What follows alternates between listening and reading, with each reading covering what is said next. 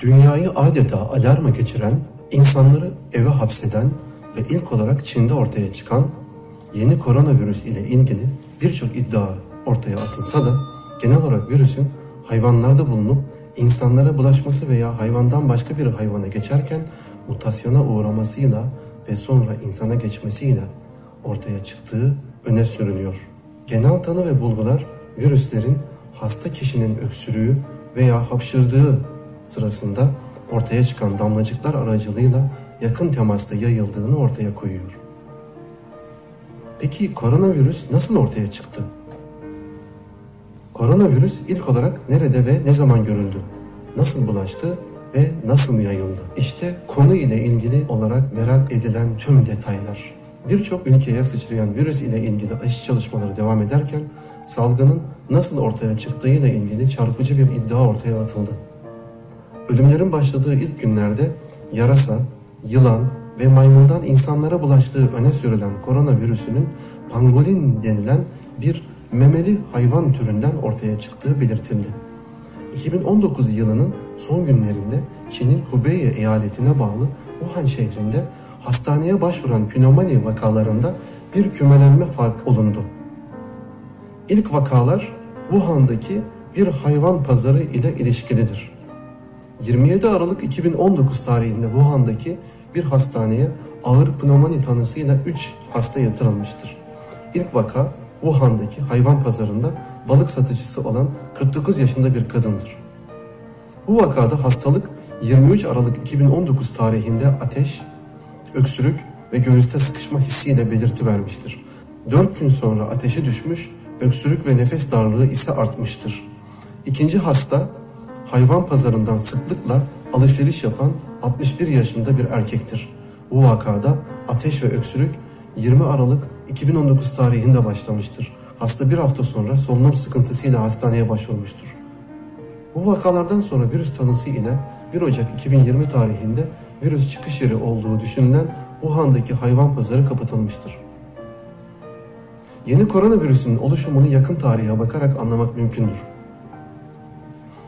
1958-1961 yılları arasında yaşanan Çin kıtlığı büyük bir insanlık dramıdır.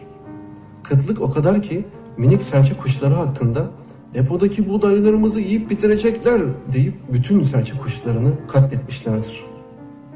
Çocuklar sapanla vurmuş, yaşça büyük insanlar ağaçlara tırmanıp yumurtalarını kırmış, uçmaktan yorulup ölsünler diye bir yere konmalarına izin vermeden rahatsız edilmişlerdir. Buna ek olarak sıçan sivrisinekler de öldürülmüştür. Hayvan ölülerini getirenlere devlet tarafından ödüller verilmiştir. Yakın tarihteki en yaygın yamyamlık olayları bu dönemde yaşanmıştır. İnsanlar yiyecek bir şey bulamadıklarından varsa kendi hayvanlarını sonra sokakta ve doğadaki yabani hayvanları, ağaçları, bitkileri ve son çare olarak da insanları yemeye başlamıştır. İlk etapta mezarları kazmaya başlamışlar ve tamamen çürümemiş bedenleri hedef almışlardır. Bir sonraki aşamada ise öncelikle savunmasız durumda olan çocuklar kurban olmuştur ki bu çocuklar genelde komşu veya ailesi hali hazırda ölmüş insanların çocuklarıydı. Bazı kişilerin kendi ailelerinden kişilere de meylettiği bilinmektedir. Dünyada cehennemi yaşamak olarak da değerlendirilebilecek bu olaylar silsilesi şüphesiz ki insanlık tarihindeki en büyük kara lekedir. Medeniyet seviyesini hızlıca yükseltme çabası içinde olan Çin Komünist Partisi'nin kırsal kesime endüstri tesisleri yağarak ve çiftçi nüfusu zorla fabrika işçisi olarak çalıştırmak istemesi sonucu ortaya çıkmıştır. Bir nevi için yanlış siyasi politikalarla varlık içinde yokluk çekmiştir. Tabii ki bu kıtlığa kavurucu sıcaklıklar gibi bazı doğal etmenlerle sebep olmuştur. Resmi rakamlara göre 15 milyon, resmi olmayan rakamlara göre 25 ila 43 milyon arasında ölüme yol açmış, tarihte ve 20. yüzyılda yanlış devlet politikalarıyla gerçekleştirilen en büyük vahşetlerden biridir. Kıtlıktan dolayı yaşam kaynakları arayan insanlar vahşi doğaya saldırmak zorunda kalmıştı. İhtiyaçlarını vahşi doğadan karşılamayı öğrenen insanlar da zamanla bu tarz beslenme yemek kültürü haline geldi. Hayvanlarla yaşam şehirlerin tam ortasında yer almaya başladı ve insanlar tarafından tehdit gören, baskılanan hayvanlar da vahşi virüs diyebileceğimiz ve mutasyona uğramış virüsler yıllar sonra insana yatkın RNA'ya sahip bir şekilde ortaya çıktı. Buradan anlaşılıyor ki koronavirüskinler diyebileceğimiz bu virüs türleriyle daha birçok salgınlara hazırlıklı olmalıyız. Yani dün H1N1 virüsü vardı. Bugün yeni koronavirüsü dediğimiz COVID-19 var. Bugün adları ve genetik kodları değişen, mutasyona uğramış bu virüsler çok daha can alıcı bir şekilde karşımıza çıkabilirler. Çin'de korona salgınından önce sadece 2000 canlı hayvan pazarı olduğu biliniyor. Pazarda akla gelen her türlü hayvan satılıyor. Yılan, sıçan, kunduz, tilki, kurt yavruları, tavus kuşları, baykuş, kurbağa, kaplumbağa, yarasa, kemirgenler ve kertenkele gibi yüzlerce sağlıksız hayvan resmen ölüm saçıyordu. Çinliler vahşi hayvanları protein niyetine büyük iştahlı yemeye o kadar alışmışlardı ki bu alışkanlıklarından vazgeçmeleri imkansız diyebiliriz. Çünkü vahşi hayvan eti onlar için bir kültür haline gelmiş durumda. Koronavirüsünün aşısının bile aylar hatta yıllar alacağını düşünürsek bu virüslerle yaşamayı hatta bunlara karşı bağışıklık sistemlerimizi geliştirmenin yollarını bulmalıyız. Dünyayı kanser gibi saran bu hastalıklar bize onlarla öyle veya böyle yaşamak zorunda olduğumuzu anlatıyor. Çünkü dünya bu yaşanan salgınların nedenini araştırmak şöyle dursun, ders alma niyetinde hiç değil. Günlerdir televizyon izliyoruz. Kimse bu salgının esas nedeni üzerinde ciddi şekilde duruyor mu? Mesela bir sıtma salgını varsa sıtmanın sivrisineklerden insana bulaşan parazitler olduğunu bildiğimiz için bölgede sivrisineklerle ilgili bir önlem alırız. Daha fazla yumurtlamalarına izin vermeyiz. Yoksa camlarımıza istediğimiz kadar tel taktıralım, cibinliklere bürünelim. Sivrisinekler üremeye devam ettiği sürece o bölge sıtma alarmı vermeye devam edecektir.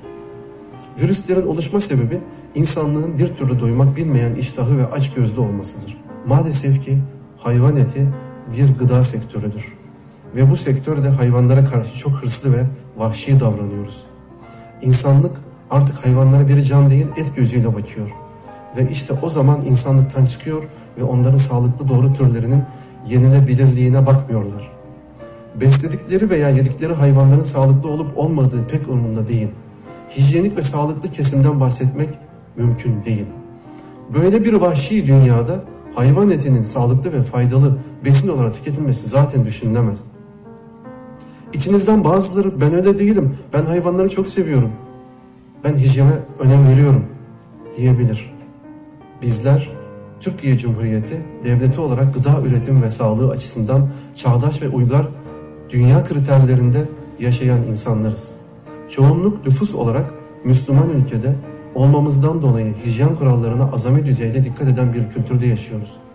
Ancak dünyada kırsal şehirlerde az önce saydığım adeta bir hayvan kıyımı içinde geçimini sağlayan on binlerce insan var. Açlık ve yokluktan acıma duygusunu kaybetmiş bu insanlar dünyanın her tarafındaki, her yerindeki canlıları yakalıyor, kafeslere tıkıyorlar. Ve onların etinden, sütünden, derisinden, kürkünden hatta mis kedisi dediğimiz kedinin kokusundan dahi istifade etmenin peşine düşüyorlar. İşte bu doyumsuz hırsın sonunda ortaya çıkan tabloların cezasını tüm insanlık olarak çekiyoruz. Ve paçamız tutuşunca da hijyen denen şeyin büyük nimet olduğunu anlıyoruz. Yeni dünya düzeninin en temel kelimesi olacak bu kelimeyi unutmayın. Hijyen. Uzmanlar tarafından böyle zamanlarda tek kurtuluş ilacı olarak karşımıza çıkmaya devam edecektir. Tekrar söylüyorum hırslarımızı bir kenara bırakıp hijyene ve bizden başka yaşayan canlılara gereken önemi vermezsek bunların bedelini dünyaca çok ağır kayıplarla ödemeye devam edeceğiz. Virüsler aslında kötü canlılar değildir. Canlılar var oldukça onlar da hep var olacaklardır. Dünyada virüsler ve bakteriler hep vardı. Şu anda hepimizin vücudunda trilyonlarca virüs var ve bizi hasta etmiyorlar. İnsanların kanında yapılan bir araştırmada tam 94 çeşit değişik virüs saptanmıştır. Aynı şekilde diğer canlıların hepsinin üzerinde yarasalarda, kuşlarda, kedi ve köpeklerde hasta etmeyen virüsler vardır. Hastalıkların ve salgınların nedeni kendi vücudumuzda ortaya çıkan virüsler değildir. Hayvanların etinden, sütünden yararlanırken virüsleri kendi vücudumuza transfer etmemizdir. Yoksa doğada kendi ortamlarında yaşayan hayvanlardaki virüslerin insanlara geçme ve onları hasta etme imkanı yüzde sıfırdır. Hayvanları dar mekanlarda bir araya topladığımızda bu virüsler son derece hızlı bir şekilde çoğalır ve hepsini hasta eder. O yüzden bu hayvanların yemlerine ve kendilerine antibiyotik enjekte etmek suretiyle çiftliklerde yüzlercesinin birlikte yaşamaları sağlanıyor.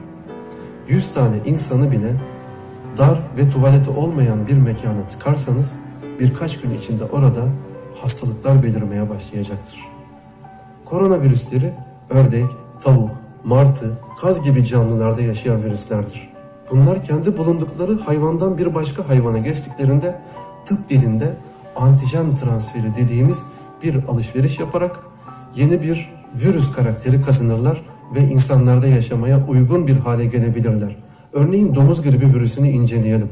Domuz gribi virüsü epitel hücre dediğimiz doku hücresine giriyor ve kendi RNA'larını sitoplazma içerisinde çıkartıyor. Arkasından bir kuş gribi virüsü aynı gün hücreye giriyor, o da kendi RNA'larını sitoplazmaya çıkartıyor. Her iki virüsün genetik ayrışmasından yeni özellikler kazanmış yepyeni bir virüs ortaya çıkıyor. Koronavirüsü, Ebola virüsü, SARS virüsü de aynı bu şekilde meydana gelmiştir. Çin'in Wuhan bölgesinde yaşayan yarasalardan bir virüs önce yine o bölgede yaşayan pangolin adı verilen bir canlıya geçti. Ve daha sonra hayvan pazarlarında satılan bu canlıyı satın alarak yiyen bir kişi vasıtasıyla da insanlara geçti. Bugüne kadar çıkan bütün virüs salgınlarının arkasında büyük hayvan çiftlikleri, hayvan pazarları ve yabani hayvan avcılığı vardır. 1918 yılındaki virüs saldırısı 50 milyon insanın ölümüne sebep olan İspanyol gribi H1N1 virüsü tarafından gerçekleşti. Salgın Teksas'ta bir ördek tavuk çiftliğinde başlamıştı. 1968 Hong Kong salgınında tam 1 milyon kişi öldü ve bu salgındaki virüs H3 kuş gribi virüsü ile H2N2 virüsünün kodlarını taşıyordu.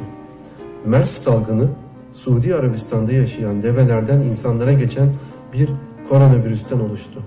Bu da develerde yaşayan bir koronavirüstü. 2003 yılında 29 ülkeyi etkileyip 8 bin kişiyi öldüren SARS virüsü hastalığının etkeni de bir yarasa virüsüydü. SARS virüsü çıkış biçimi de korona gibiydi. Önce yarasadan mis kedisi denen güzel kokulu bir hayvana ve oradan da insanlara geçmişti. Kokulu mis kedilerini Afrika'da bol miktarda olduklarından ormandan yakalayıp parfüm imalatında kullanmak için kafeslere tıkıyorlardı. Ve daha sonra salgılarından parfüm imalatı için esans yapılıyor ve yüksek fiyatlarda satılıyordu. SARS hastalığının sebebi de bu kediler olduğu ortaya çıkmıştı. AIDS, HIV-1 virüsü de Kamerun ormanlarında şempanzeyi yakalayıp yemesi alışkanlığı nedeniyle şempanzelerden insanlara geçmiştir. Ve bu alışkanlık hala vahşi doğada devam etmektedir. Son olarak yeni koronavirüsü de Çin'in Wuhan kentinde ayı, kuş, yılan, tavşan, pangolin ve benzeri yaban hayvanlarının satıldığı bir çarşıda ortaya çıktı. Bu salgında belki on binler, belki birkaç milyon kişiyi kaybedeceğiz. Fakat sonunda koronavirüs salgını sona erecek. Ancak yine de avantajlıyız diyebiliriz. Çünkü bu virüsün şöyle bir özelliği var. Çocuklara ve gençlere bulaşsa da hafif semptomlar gösteriyor. Ancak yaşlı ve kronik hastalık grubunu daha fazla etkiliyor. Evet, çok kayıplı bir salgın olmasına rağmen kendimizi yine de teselli etmeliyiz. Neden mi? Çünkü 2009 yılında Meksika'da başlayıp oradan Amerika'ya yayılan influenza virüsünün bugünkü koronavirüsünden farklı şöyle bir özelliği vardı. Daha çok hamile kadınlara ve 5 yaş altındaki çocuklara saldırıyordu. Tabii ölüm oranları da en yüksek bu gruplardaydı. Şimdi günümüzdeki koronavirüsü ile Meksika'da çıkan influenza virüsünün antijenik shift yaptığını yani birleşip mutasyona uğradığını düşünün. Ortaya çıkan virüs çok korkunç olacaktır. Hem çocukları, hem hamileleri, hem yaşlıları yakalarsa dünyanın ne kadar büyük bir felaketle karşılaşacağını düşünebiliyor musunuz? Bunun için koronavirüslü bir hastanın influenza virüs enfeksiyonu ile dolu tavuk çiftliğinde çalışması, oradan aynı zamanda influenza virüsü ile de enfekte olması yeterli olabilir. Tabii ki böyle bir antijenik shift bir hatta birkaç yıl içinde olmaz. Ancak hayvanları çok dar mekanlarda bir arada tuttuğumuz sürece böyle bir salgın ile karşılaşma riskimiz de her zaman var. Dünyanın tekrar böyle büyük bir salgın ile karşılaşmaması için ne yapmamız lazım? Aslında çok zor şeyler olmamakla birlikte uzun vadeli temeller ve köprüler atılması gerekiyor. Endüstrileşme insanın bir taraftan yaşam kaynaklarını arttırırken bir taraftan da hayat köprülerinin direklerine dinamik döşemeye devam ediyor. Ancak siz de tahmin edersiniz ki endüstriyel hayvancılığın ortadan kaldırılması diye bir şey söz konusu bile olamaz. Endüstriyel tesisler olmadan bu kadar insana köy yumurtası, gezen tavuk eti, doğal yaylalarda yetişmiş dana eti yetiştirmek de mümkün değildir. Ama burada asıl büyük iş Dünya Sağlık Örgütü'nden başlayarak ülkelerin sağlık bakanlıklarına, tarım ve hayvancılık bakanlıklarına düşüyor. Hayvan çiftliklerinde üretim kapasitelerinin sıkı denetlenmesi, mümkün olduğunca hayvanların sağlık koşullarına uygun doğal gezen tavuk ve büyükbaş hayvan çiftliklerinin desteklenmesi gibi basit ama uygulanabilir önlemlerle doğayla buluşan hayvanlar yetiştirilirse o kadar bu virüslerle karşılaşmamız azalır. Tabii yapılması gerekenler bunlarla kalmıyor. İşin başka bir yönü de var. İnsanlara da mümkün mertebe eşit gelir dağılımlarıyla vahşi ortamlardan et aramalarının yolunu kesecek bilinçlendirme ve ekonomik stratejilerin de geliştirilmesi gerekiyor. Sanırım bir de insanlığın az et, çok ot yeme kültürünü de yaşam tarzına eklemeleri gerekiyor. Hepimiz biliyoruz ki hayvan eti yeme alışkanlığından vazgeçmemiz zor. Ve zaten bu çok sağlıklı bir yaşam da olmaz. Ancak önümüze çıkan her hayvanı nesli tükenmesine, yavru olmasına bile bakmadan yenebilir ve yararlanılabilir gözüyle bakan insanoğluna bunu anlatmak mümkün müdür? Size soruyorum. İnsanlığa savaş açmış, gözle göremediğimiz kadar küçük bu savaşçı ve vahşi virüsler bizlere bir şeyler söylemeye çalışıyor. Farkında mısınız? Hijyene dikkat edin. Hayvan haklarını iade edin. Hırslarınıza yenik düşmeyin. Ve son olarak insan haklarımızı da hatırlatıyor. İnsan haklarını çiğniyorsunuz. Tez elden bunu iade edin diyor. Eğer bu virüslerin bizlere ne demek istediğine bakmadan bu güzel dünya mirasını har vurup harman savurursak insanlığın başına daha çok belalar açacağına kefilim.''